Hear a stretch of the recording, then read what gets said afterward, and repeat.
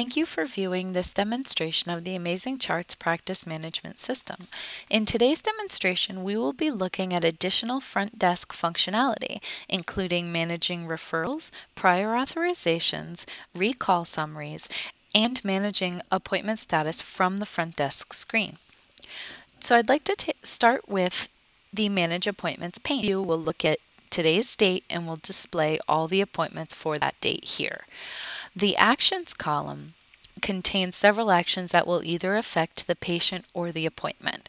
So if I click the chart link, that's going to open this patient's chart. If I click details, that's going to open the details for this appointment. If I click the check eligibility link, that's going to run a manual eligibility check for this patient for this appointment. This is different from scheduled eligibility checking, which is something we encourage all practices to utilize. The idea behind scheduled eligibility checking is that you run your eligibility checks a day or two in advance so that you walk into the office knowing that eligibility has already been verified for all appointments for that day. However, you can also manually check it by clicking this link here. We could print the encounter form if we needed to for this appointment. And then the last three links, check in, missed, and seen, those control the status for this appointment. So I can mark that the patient's been checked in, that they have missed the appointment, or that they've been seen and the appointment has been completed. And I can do this here from the front desk screen without launching the scheduler.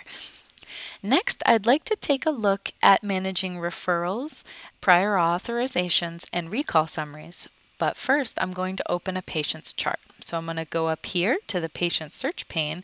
And I'm going to type in the patient's last name, which is Baker, and click enter. I could also click the search button.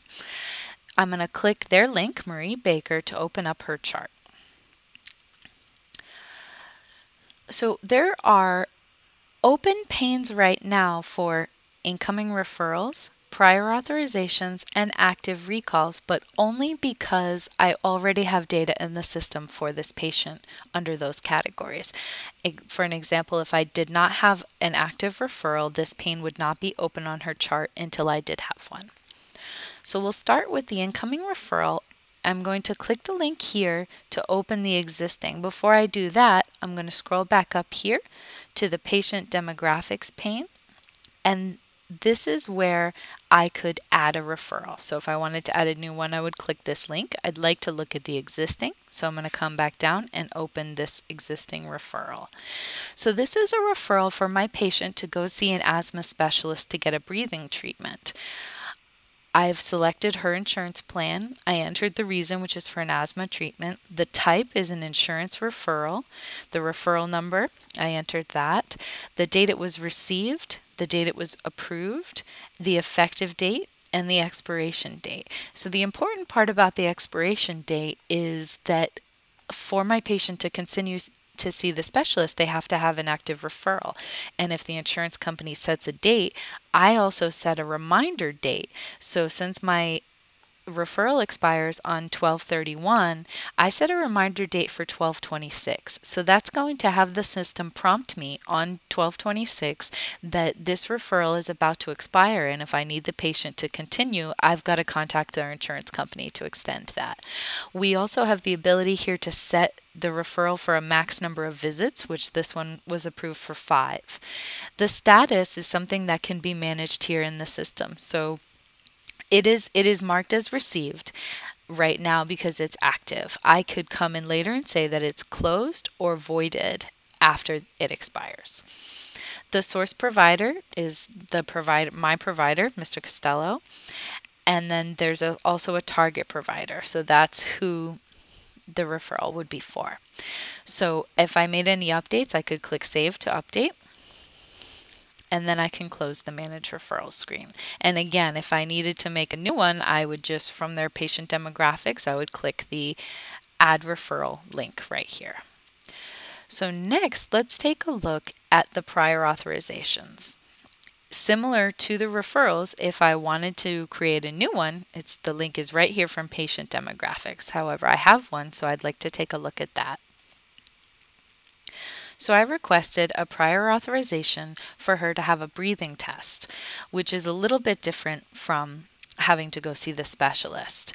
So it was initiated by us, was requested on 12 1. It was responded to from Blue Cross Blue Shield of Rhode Island, who is this patient's insurance carrier. I selected their plan. The provider performing is Dr. Costello. The treatment is a breathing test for asthma. And there's an effective date, expiration date, and then again a reminder. So if I needed to extend this, I could just contact Blue Cross again. The prior authorization number is something that I recorded here into the system. I could have also set a max number of visits or max cost if that's how it was defined by the insurance company.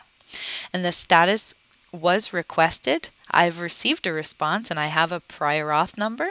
So I'm going to change this status to approved and then I'm going to click save. So I've just updated the status in the system to show that this prior authorization has been approved for this patient.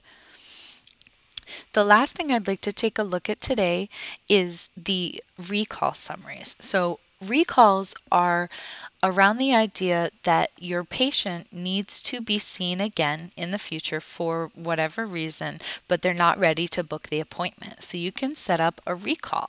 This patient right now has two active recalls, but again, I'm going to scroll back up to their patient demographics pane. If I needed to add a new one, I could just click add recall link. However, she has two, so I'm going to just look at her existing ones. I'm going to cl click the view change link to open this recall. So basically, she is due for an annual physical.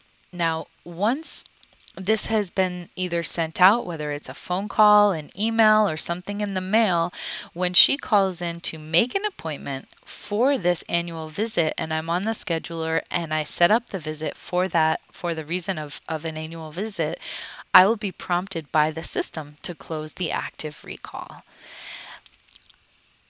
Thank you very much for your time today uh, looking at additional front desk functionality.